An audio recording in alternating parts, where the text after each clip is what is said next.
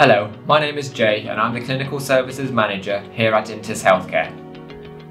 We all know that smoking isn't good for our health. Not for the smoker and not for those around them. Most of us are aware that smoking impacts your heart and blood circulation and that it is directly linked to lung cancer. However, some health related issues aren't very well known, such as the link between sleep apnea and smoking.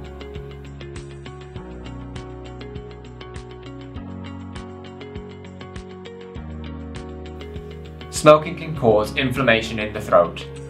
This encourages mucus production, narrowing of the airways, congestion, and increased likelihood of snoring. Since nicotine is a stimulant, smoking can conceal the feelings of tiredness, making it difficult to recognize the symptoms associated with sleep apnea.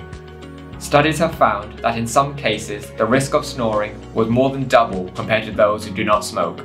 By quitting, you can reduce the risk of developing sleep apnea and other smoking related diseases.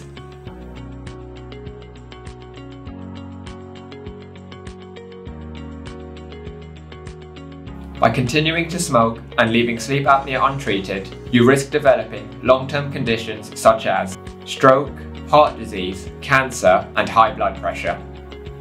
We can offer support services for those who suspect they may have sleep apnea and provide equipment for those already living with the condition. For any advice or guidance, call us on 0800 024 8050 or email us on contact at intushealthcare.com.